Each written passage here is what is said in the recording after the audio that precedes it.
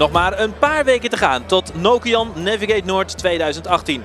Op de kerstborrel in stadion De Galgenwaard van FC Utrecht kwamen alle deelnemers bij elkaar. En Frans van Zeumeren, bekend van de berging van de Koersk, vertelde zijn verhaal. Want de hoofdbestemming van Navigate Noord 2018 is Moermansk. Dat was een hele spectaculaire uh, operatie, zeker omdat het een nucleaire onderzee was.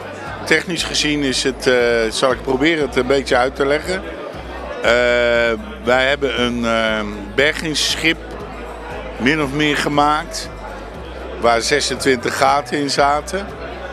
Op, bovenop die gaten stonden 26 vijzels. Er werden 26 gaten in onderzee geboord. En toen dat helemaal geïnstalleerd was, hebben we hem omhoog gehesen. Tegen het ponton aan, wat het bergenschip was. Dus onder het ponton zijn naar Moermansk gevaren en hebben hem daar in het dok gebracht. En als we straks in Moermansk aankomen met al deze deelnemers, kunnen we er nog wat van zien? Nee, alleen een monument. Het schip is in een groot dok gekomen. En uh, daarna hebben de Russen, de, ik denk dat ze de nucleaire uh, reactor eruit gehaald hebben. En in een andere onderzee gezet hebben.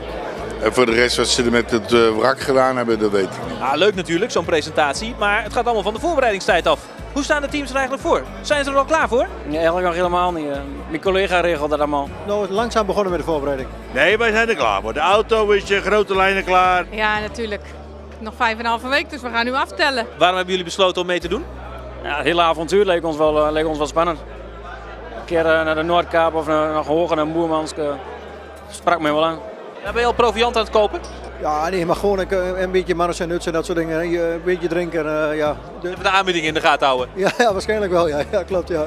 Ja, wat moet er allemaal nog gebeuren? Uh, nog extra lichtbar op de auto. Even uh, kleren verzamelen. Ook, ook niet onbelangrijk. Kleren verzamelen? Ja. Het blijft kribbelen. Ja, het is echt een verslaving en uh, het is echt een uitdaging. Wat verwacht je ervan dit jaar?